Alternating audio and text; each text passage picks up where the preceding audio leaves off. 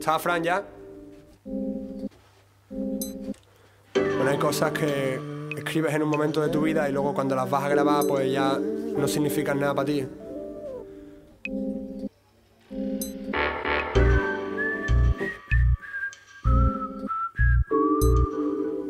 Estos son los renglones torcidos de Dios. No te mereces esta mierda.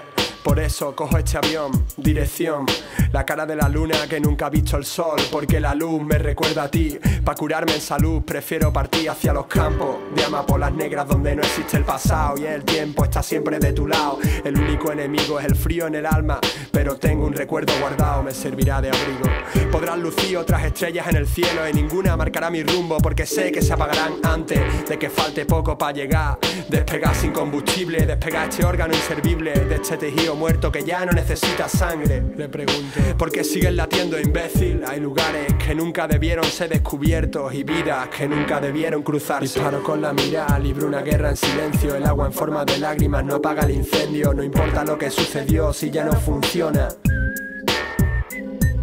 Estar en todos lados o quitarse de en medio Porque sigues teniendo fe después de tanto tiempo Mi alma es un arpón oxidado Los renglones torcidos de Dios y si tienes miedo a los fantasmas, compra un gato. Que tengan una explicación. Los ruidos de tu casa, la mía hay tres. Porque aun con el tiempo no se me pasa. Y sigo viendo tu ropa tirada en mi habitación. ¿Y qué importa la mierda que hay en mi cabeza? Si estás en ella, como Eva Brown en la de Hitler. Me suicidaría contigo solo porque hiciéramos algo juntos. Mataría por tus microbios, quiero tus bacterias. Formaré parte de tu historia. Aunque sea al final, guardaré en un tarro tu espina dorsal. Para mí es igual que estés en una esquina o en una oficina. O lo difícil que me lo quieras poner tu recuerdo en un container, guardo, estuve cuerdo. En algún momento, para estas cosas siempre soy un pardo, me dicen. Entra ya, pringado, déjate de cuento.